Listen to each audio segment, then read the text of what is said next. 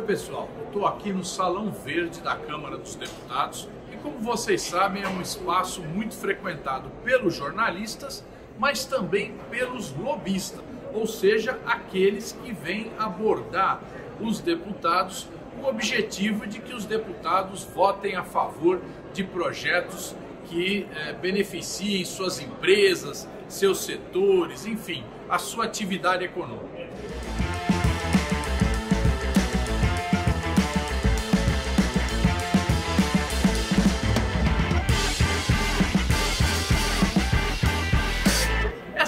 Atividade de lobista é uma atividade que é muito mal vista na sociedade porque é vista como uma coisa vinculada à corrupção.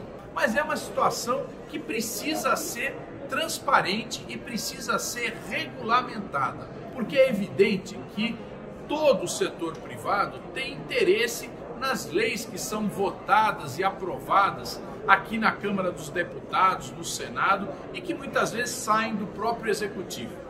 Esse trabalho do lobby, ele é um trabalho que nós não vamos conseguir eliminar. Portanto, é necessário regulamentar e dar transparência. Por conta disso, em 2007, há 14 anos atrás, eu apresentei como um dos meus primeiros projetos o projeto de regulamentação do lobby. Esse projeto vem sendo muito discutido desde aquela época e hoje já se encontra no plenário da Câmara dos Deputados com urgência aprovada, pronto para ser votado. Durante todos esses anos, todos os governos da Dilma, do Lula, do Michel Temer e do Bolsonaro disseram que iam apresentar um projeto que é, resolveria esse problema. E o meu projeto continuou andando.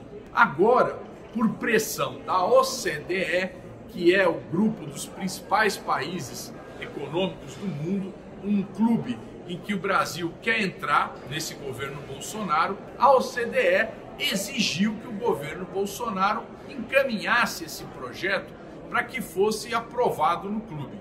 Pois bem, agora o projeto do governo chegou na Câmara e ele vai ser apensado no meu projeto, que é o projeto mais antigo.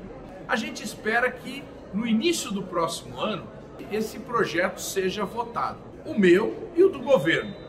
O relator, que será ainda nomeado, vai fazer um trabalho de juntar os dois projetos ou não, aproveitar uma parte de um, uma parte de outro, nós não sabemos o que vai acontecer. Mas o fato é que o projeto do governo precisa melhorar muito.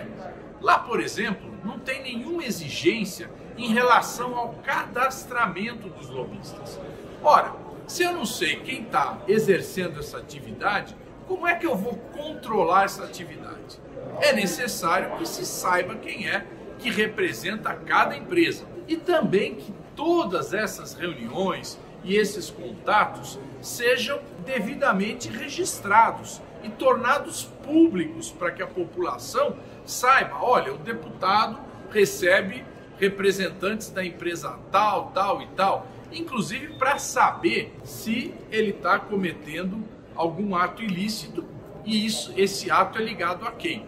Bom, nós vamos procurar melhorar esse projeto. O projeto do governo também trata do que é considerado um presente, do que é considerado um encontro social, enfim, tipos de contato que precisam ser devidamente posicionados para saber se ali houve algum benefício ao parlamentar, ao membro do executivo, para a gente identificar se não está havendo um processo de corrupção.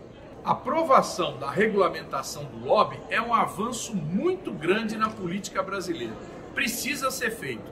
Nós lutamos muito para acabar com a doação das empresas privadas e foi vitorioso. Isso acaba limpando o processo eleitoral. Agora nós precisamos aprovar essa regulamentação do lobby. É isso que vai dar maior transparência à ação do executivo, à ação do legislativo, para a gente evoluir no nosso processo político brasileiro.